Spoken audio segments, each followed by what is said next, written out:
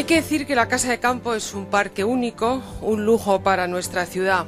Con más de 1.700 hectáreas, es la mayor zona verde de Madrid y una de las mayores de Europa.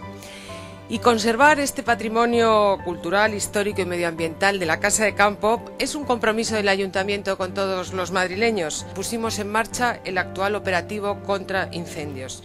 Y gracias a este operativo hemos reducido la superficie media anual quemada en un 93%. Esto creo que es muy importante. Hemos reducido la superficie media anual quemada en un 93%. Garantizar verano tras verano que los madrileños puedan disfrutar de este pulmón verde es cosa de todos. Repito, de las administraciones, de los madrileños y de quienes nos visitan.